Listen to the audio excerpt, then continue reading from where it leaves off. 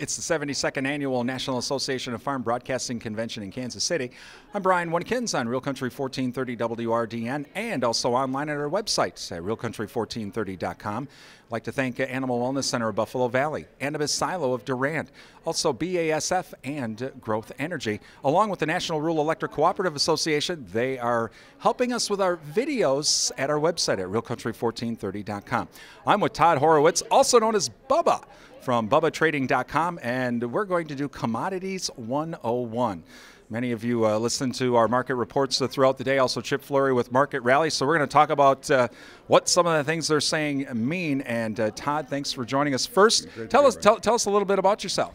I've been in the industry since 1980. I started out as an equity trader and moved over to the Board of Trade, and I've become into the agricultural space, cattle and grains and things like that. And I've done you know very well doing it. And I've become an educator here now that we I'm getting into my elderly years, and and I really want to be able to help the innocent understand what goes on in markets and how markets really function because it's really about price discovery and, and where we go and, and, what's the fair value and not to really try to pick tops and bottoms but learn how to hedge or put yourself in a position where you don't lose as much money. Okay, let's talk about some of the things that I'll be talking about during my market summaries. Uh, everyone wants to know what's a put? A put gives the, the buyer the right to sell something at a certain price. So if you buy a put in corn options right now at $4, you have the right to sell corn at $4. Now, to get that right, you pay a premium. Okay? So what happens is you go out and pay a premium to buy that put. But if the market does go down from that level and it goes down far enough, you'll be able to cover that premium cost and actually be out of your crop at X amount of dollars, whatever the premium is. So it's $4 minus what you paid and that'll get you out at that price. And it's very important to understand when you're buying premium because premium changes. The level changes based on the fear that's in the marketplace. As we go lower, fear tends to generally gravitate and markets become more volatile because there's more panic, right? All of a sudden, how am I going to pay the bills?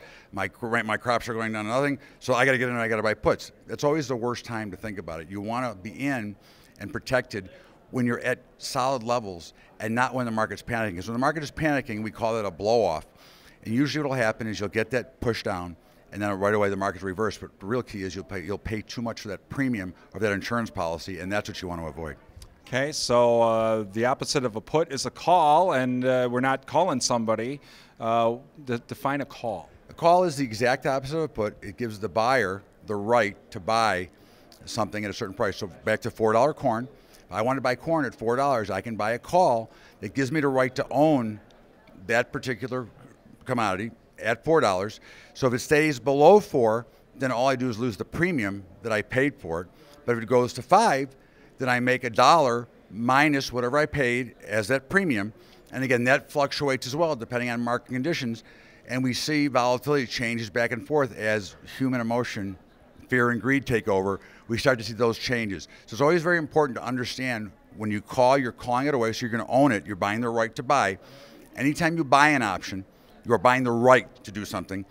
There also are option writers, which sell options, which are selling the obligation, but for that obligation, they're collecting an insurance premium. Again, talking with Todd Horwitz from BubbaTrading.com, uh, a little bit of Commodity 101 a lot of times in uh, my market summaries, and I've had again listeners, uh, non-farm listeners, go, "You say uh, what's what's short covering? What are we burying somebody who's shorter? What, what's going on with that?" You know what happens a lot, Brian, is markets get overdone, and I believe like even in today's market right now, we're probably a little bit overdone to the downside. I'm actually very bullish.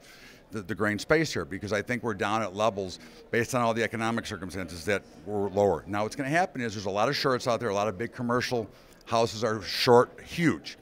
What's going to happen one day is the markets, there's going to be some news, something's going to change, and some of the buyers are going to start to step in. Short covering is when they start crawling over each other to get out, and all of a sudden you see prices explode.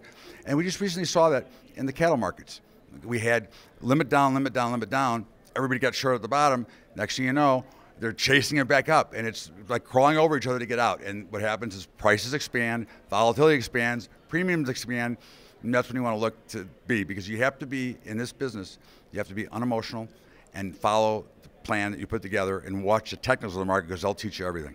Finally, uh, as well, the opposite of short covering is long liquidation. And the way I've always explained it has been, well, the uh, the prices have been really high, and you know what? We've made some money, so we're going to either liquidate those positions, also known as profit taking. We're just going to take some profits off the table. There is profit taking, which is always a good thing to do, right? You want to make sure you, you did something for a reason. You want to take the profit. You don't want to be greedy because, as we know, bears get a little, bulls get a little bit, and the pigs get slaughtered.